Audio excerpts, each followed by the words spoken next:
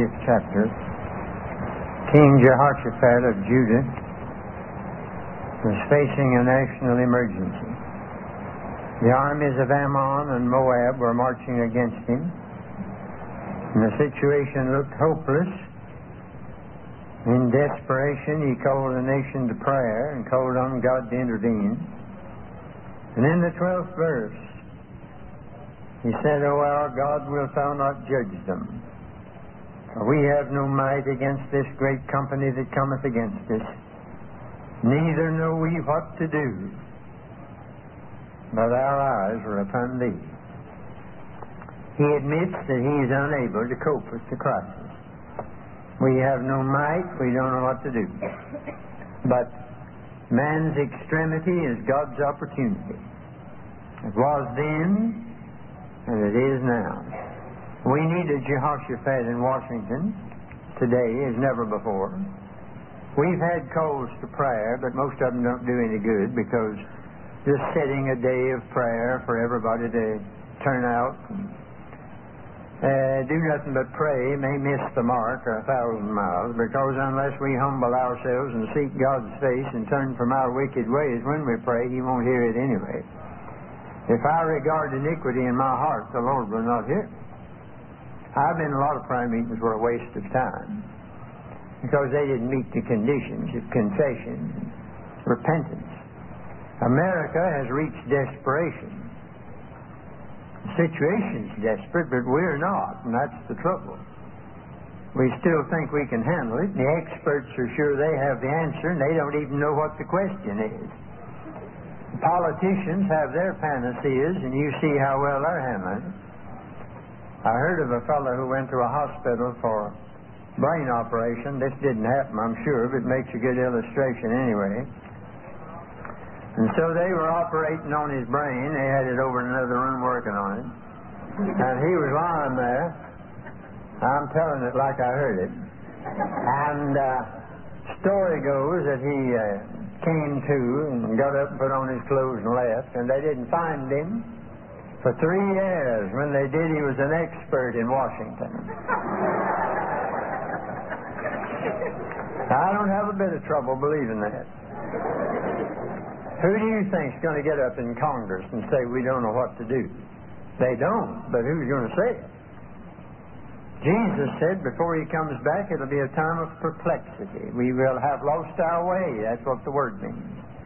And we'll be too proud to admit it. We think that all our reforms in education and technology and America know how pull us through. We've tried everything, nothing works. When are we going to quit kidding ourselves? Anybody can see that all the new ideas are not doing the job. We have a creeping socialism. Winston Churchill said there are only two places where socialism will work in heaven where they don't need it, and in hell where they already have it. You've never heard more talk about sex than you have in the last few years. I don't preach about it because Every time I hear a preacher who likes to preach a lot about it, I get a little uneasy about him. I think if we'd shut up, maybe for a year or two, the situation might improve. The operation's brilliant, but the patient's died. And that doesn't speak well for the surgeons. Best thing the president could say would be, we don't know what to do. But our eyes are on God. Wouldn't hurt him, any president. Everybody knows you don't know what to do anyway. An honest confession would be good for the soul, even if it is hard on the reputation. We're faced by a combination of forces, beloved, that can be met only by the intervention of God. But as long as we have a few tricks up our sleeves, God will not touch us. He'll leave us to our own devices. God never saves anybody who's trying to save himself. That's why some people never get saved. And they get to the place that they give up, God will move in. Sometimes a lifeguard has to knock out a drowning man in order to rescue him, lest in his desperation he hold on so tightly that some of them would go down. Now, uh, God waits till we quit kicking. Jehoshaphat here had quit kicking. Bible's full of what I like to call holy desperation. Jeremiah said in Lamentations 5, Remember, O Lord, what is come upon us, consider and behold our reproach. Our inheritance is turned to strangers, our houses to aliens. We are orphans and fatherless, our mothers are as widows. Eighteen verses of that. And then out of all that desperation, he says, Thou, O Lord, remainest forever, thy throne from generation to generation. Now, that's holy desperation. Or, I turn to the book of Micah, and this reads like the morning paper. The good man is perished out of the earth. There's none upright among men. They all lie in wait for blood. They hunt every man his brother with a net, that they may do evil with both hands earnestly. The prince asketh, and the judge asketh for a reward, and the great man he uttereth his mischievous desire. So they wrap it up. They're all in collusion. Micah said, Don't trust in a friend, don't put confidence in a guide. He said, You can't even trust your wife. Keep the doors of thy mouth from her that lieth in thy bosom. And then the verse that Jesus quoted For the son dishonoreth the father, the daughter riseth up against her mother, the daughter in law against her mother in law. A man's enemies are the men of his own house. It's a pretty bad situation. Not surprised that the next verse says, Therefore. it's about time. Therefore I will look unto the Lord. I will wait for the God of my salvation. My God will hear me.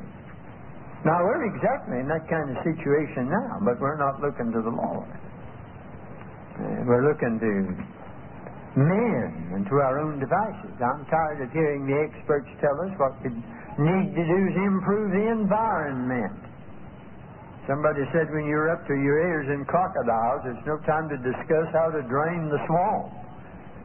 And that's where we are now. We've got crocodiles.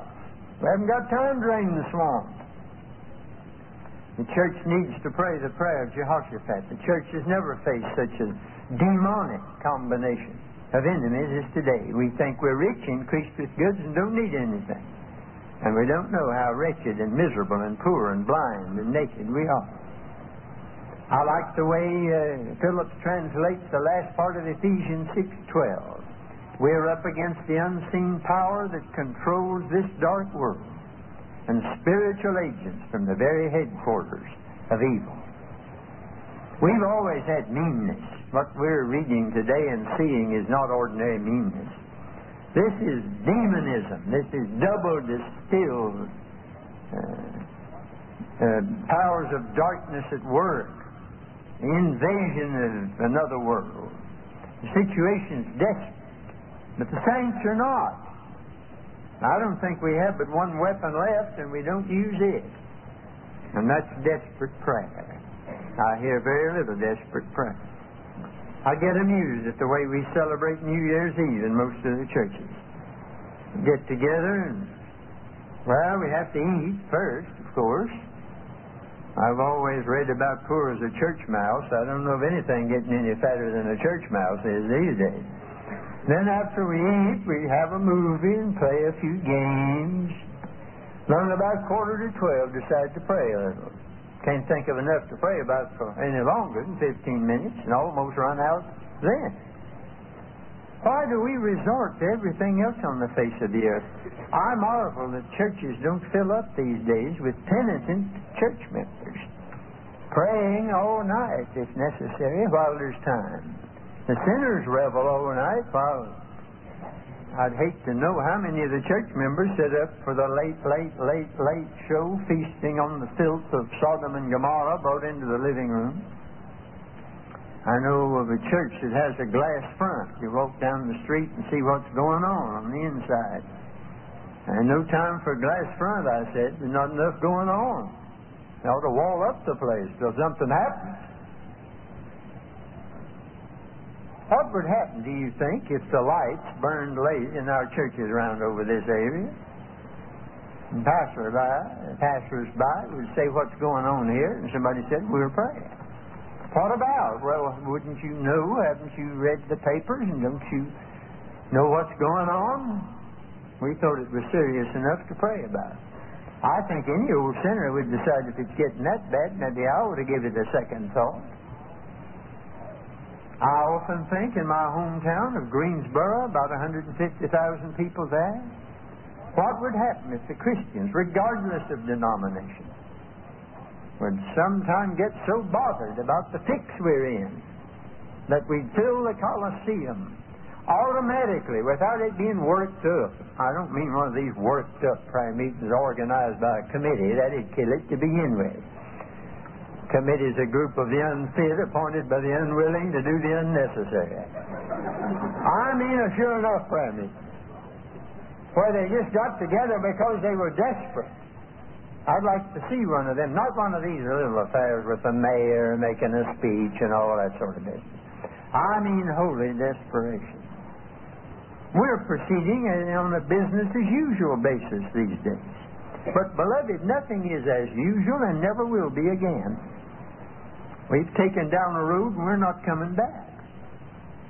And I believe the emergency requires urgency. If somebody's very ill in your home, you change the schedule of the household. You don't do as you normally do because there's an emergency.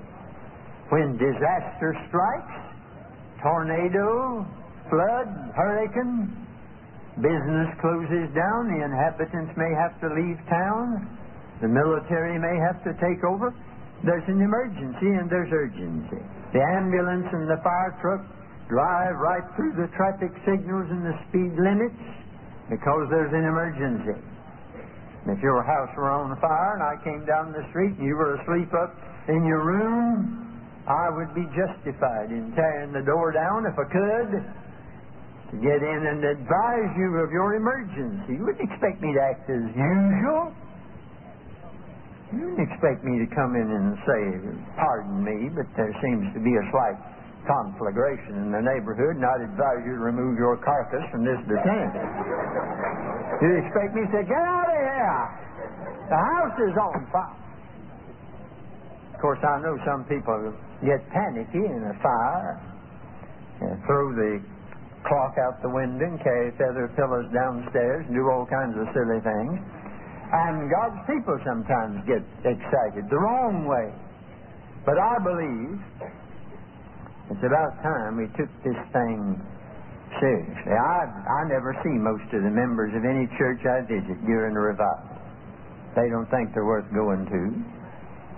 We have a lot of visitors sometimes 50 50. Had people drive 100 miles, they did last night, some of them. And folks right across the street, church members never come week. They couldn't care less. Now, that doesn't bother me personally. I've reached the age where I'm not trying to project an image and build up a reputation. I'm not trying to pack the house. It's the business of the church members to fill the house, the business of the preacher to fill the pulpit. And, uh, so I try to attend to my part of the deal. I know a lot of people are not interested. They're sermon tasters. They go one night to hear the new preacher, and then I don't know where they are next night trying out another one. Well, you never get anywhere with that kind of a crowd. I'm after folks that mean business, what few we have left today. If we don't, if we don't believe what we believe, if we believed it, I don't think any church auditorium would hold a crowd. We don't believe it. I don't think most of us believe it. I don't think we believe God's there. Old Jonathan Goforth went to a church and on prayer meeting night the crowd was slim and the preacher said, Oh, why don't people go to prayer meeting? Old Jonathan Goforth said they don't believe God. If they believe God was here and they love God, they'd be here. You have to have some famous name. During the Welsh revival, Evan Roberts was the man that God used mightily. And one night they had a great crowd waiting for Evan Roberts. They thought the revival couldn't start till Evan Roberts got there. It didn't seem to occur to them that God was around somewhere. And Evan Roberts finally got there and walked out and said, Do you believe the Bible? Amen. Do you believe the promise where two or three are gathered in my name? Amen. Do you believe God's here? Yes. Well, he said, You don't need me then. Put on his hat and coat and left.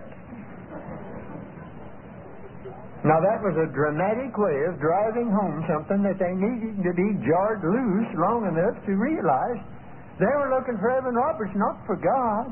He was already there. If we don't believe what we say we believe, we're the worst hypocrites on earth to preach and promote something that most of its adherents wouldn't miss if they lost it. If the average church member lost his religion, he'd hardly miss it. There's something wrong with our Christianity when you have to beg most of our crowd to come to church to hear about it.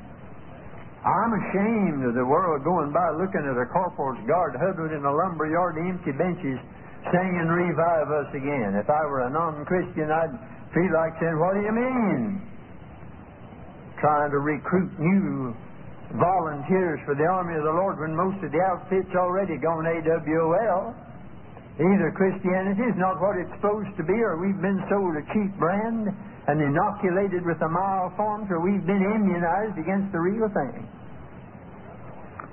I believe that any other organization that didn't take any more joy in its program and used as much raw material and turned out as poor a finished product as the average church would be out of business. I'm embarrassed. Uh, Joel was in the Old Testament. He said, I'm tired of the heathen going by saying, Where's your God? Where's the God of Abraham? I'm embarrassed when the world goes by and looks on our feeble ceremony, swapping a few members from one church to another, just moving corpses from one mortician to another, preaching a dynamite gospel and living firecracker lives. We ought to face it. I can't accept it as normal. I could take it a lot easier. But the prophets didn't accept the religion of their day as normal. Our Lord didn't accept the conditions in the churches of Asia as normal. Paul didn't accept conditions in Corinth as normal. He could have said, Well, I know that we've got one man living with the wrong woman, and I know we've got disorder in the church and in court and at the Lord's table and so on, but we've got a lot of good people here, and I want us to look at the bright side, so I'm not going to say anything about it. That's what we do. But that's not what he did. Campbell Morgan says the first half of 1 Corinthians deals with the carnalities in the church, and the last half with the spiritualities. They say today, don't talk about what's wrong. Don't talk about it. That's the new advice for preachers. Paul didn't go by that. Then I hear all this talk, just preach love, and if you preach love, that'll take care of everything. I've never seen so much love in all my life today in all these psychedelic colors all over the country. Love, love, love. We're just about to get love to death today. Well, if love will do it, why didn't Paul begin with the 13th chapter of 1 Corinthians? Why did he wait till he got half through the book and more before he ever got around to it? There was too much wrong. He wasn't about to dodge that.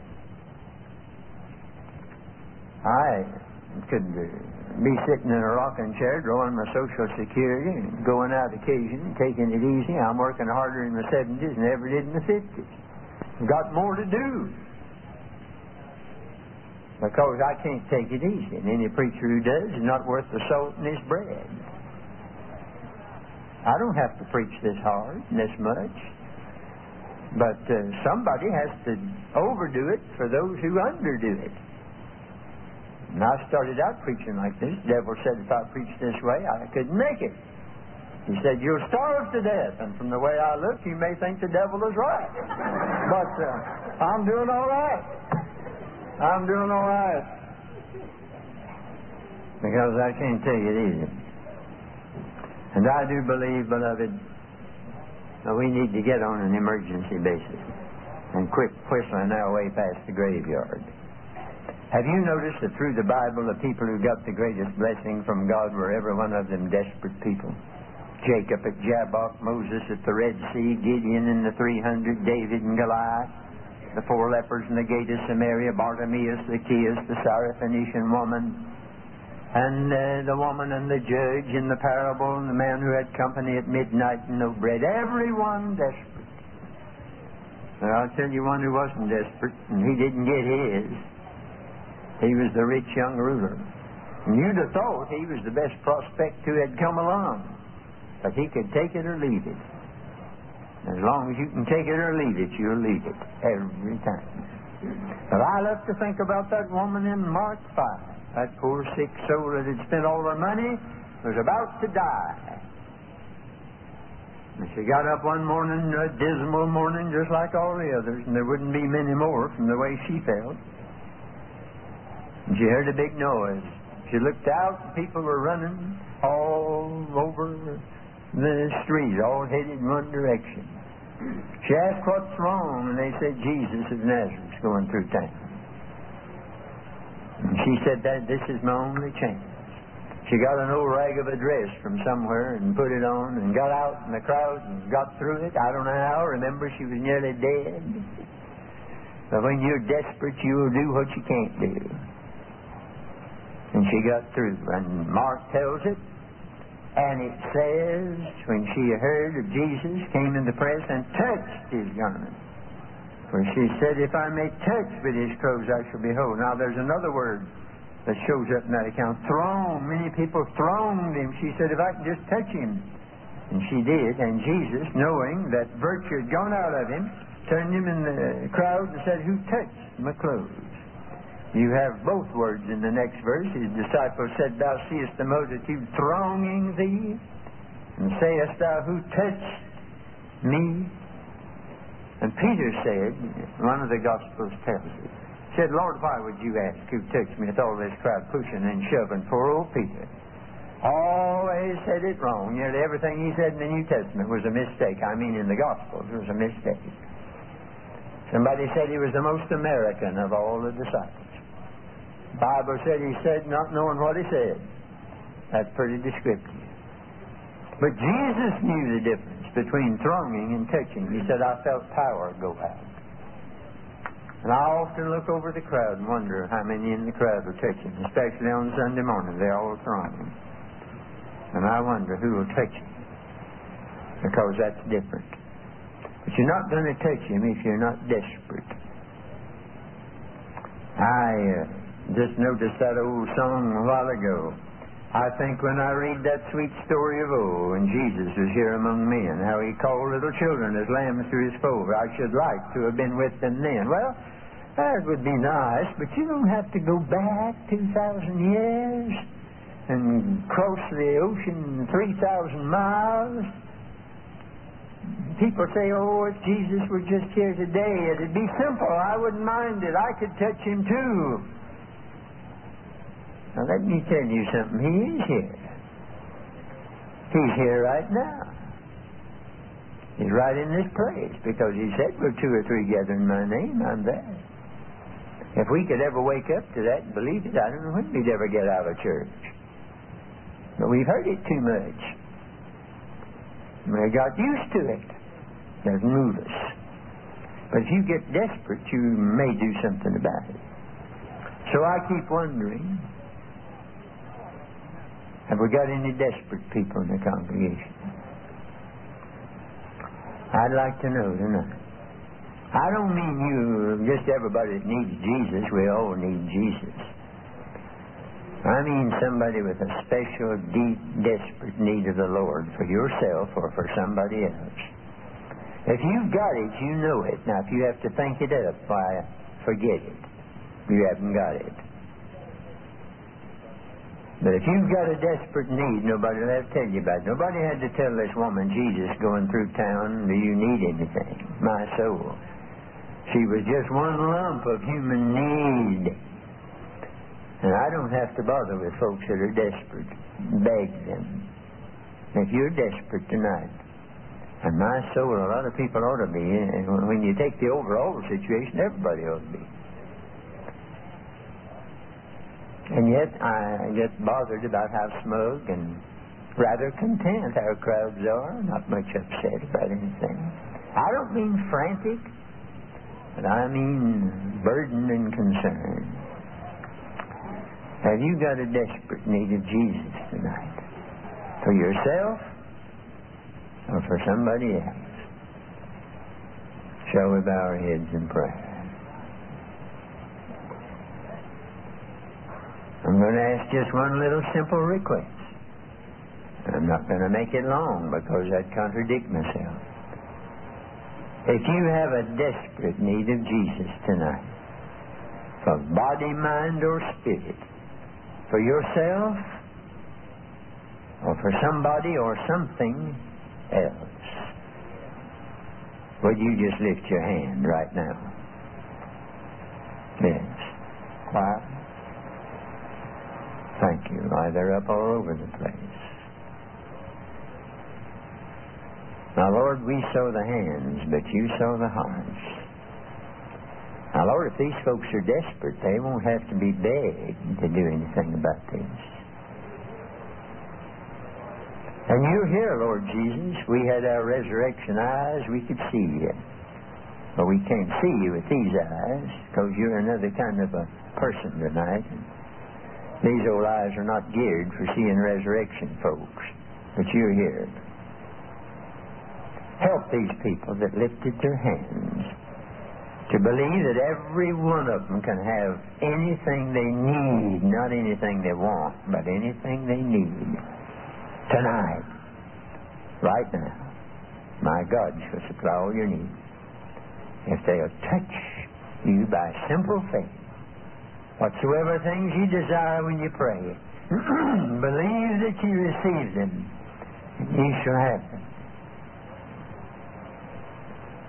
I'm not going to beg you to come. Choir's going to sing ever so softly. Pass me not. Oh, gentle Savior. I tell you what I'd like for you to do. I wish you'd clear off this front bench down here and move somewhere else make a little room down here. I want to just ask you one thing. Your granddaddy and your grandmother used to come down and kneel. We Baptists are getting so stiff-necked and so stiff-kneed and so dry-eyed that I don't wonder that nothing much happens. I wonder how many of you would be willing to slip down here and find yourself a kneeling place and just touch Jesus for that need tonight and believe Him for it. Now, I'm not going to beg you, for if you're desperate, you'll come. You'll believe Him. Choir, you sing, please.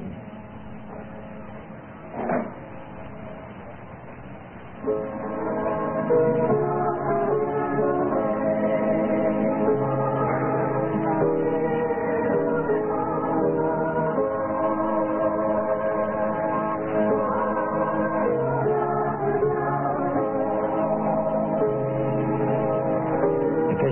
yourself or for somebody else, and it's real desperate, if it really bothers you, causes you maybe to lose sleep sometimes, causes you to weep sometimes, if it's desperate,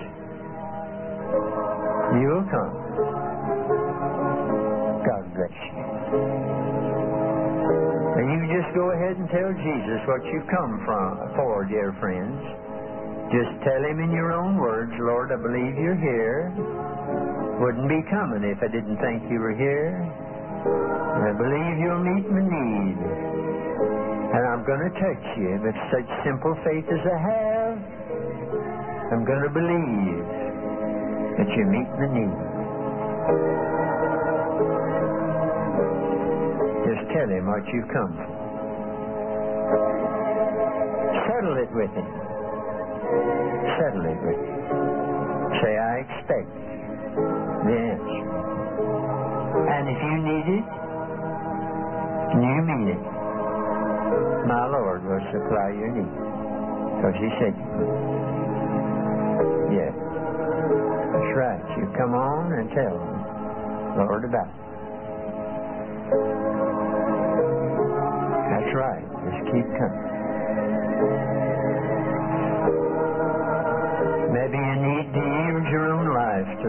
Tonight. Maybe you need to get saved. Just touch Him.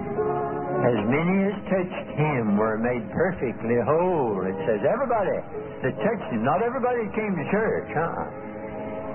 Not everybody that sang about it and thronged Him. Just those that touched Him. That's all. As many as touched Him were made perfectly whole. Isn't that wonderful? As many as touched. And that still works, beloved. He's still here. Let's let's get to believing it again. He's here. He's right in this church.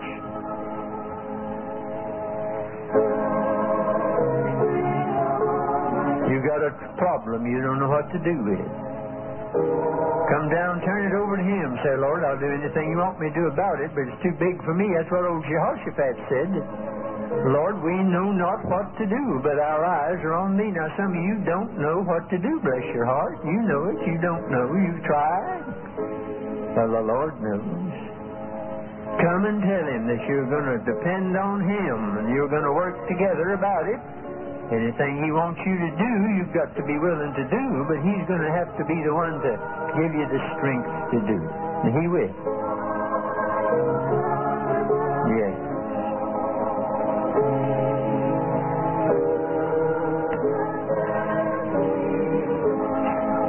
The way you've come tonight, and I believe you're in earnest. Right where you are, dear one, just settle it with the Lord. It doesn't take a long prayer if you mean business. God knows your heart. Just tell Him that it's too much for you and you trust in Him. You don't know what to do, but you leave it in God's hands and go out of here believing that He will. Now, the devil will try to tell you before you get out of this church, oh, nothing to it. Well, he's a liar and always has been. You say, I believe God. Amen. Anybody else at this last moment, you need to come for whatever reason, come and tell the Lord. I've seen some wonderful things happen in people's lives after they had this meeting with Jesus. Some wonderful things. And they will. I believe it.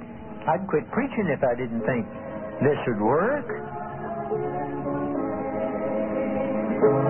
Bring it to Him. Lord, I don't know what to do, but my eyes are upon Thee. And right after that, God said to old Jehoshaphat through a prophet, He said, You won't need to fight in this battle. This is my battle. and that's what He's saying to you. Thank God you can't fight your battle by yourself. It's God's battle. He said, If you will team up with me, well, we can't lose. Father, is there anybody else that ought to come? I'd like to pray for one, maybe one more that's been sort of vacillating about it. Maybe some young person needing guidance and strength, some older person with family trouble, loved ones, some people with physical need, spiritual need. Lord, you